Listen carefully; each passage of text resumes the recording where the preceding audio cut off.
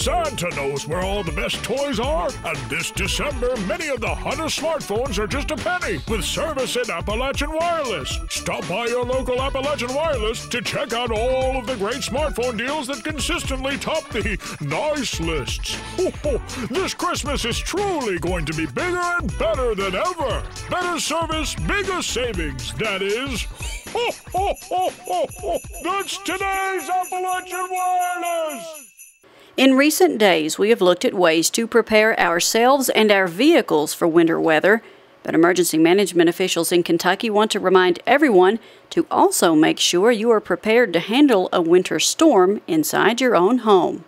You need to have your home prepared for such things. You know, you, if you don't have a backup generator or something, have an alternate heat source, uh, whether it's a kerosene heater, a wood burning stove, or, or something like that and a snowstorm that causes widespread power outages is not uncommon in our region. Many people spent more than a week without power in 2009. Uh, a lot of trees fell, bringing down power lines. A lot of poles broke, and power lines came down because of the heavy wet snow.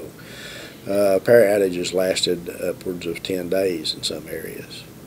Flashlights, extra batteries, and candles are important items to remember, but Tackett says also having a supply of water on hand is equally as important in the event of a water outage, like we saw in Pike County in February of 2015. They recommend that you have at least a gallon per person per day on hand. Uh, have some on hand for sanitation as well.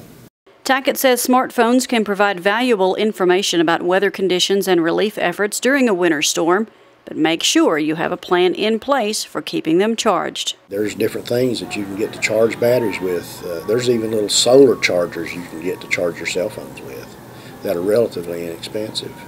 Tackett encourages people with questions about preparing their family, their home, or their vehicle for the winter season to call his office at 606 437 4126.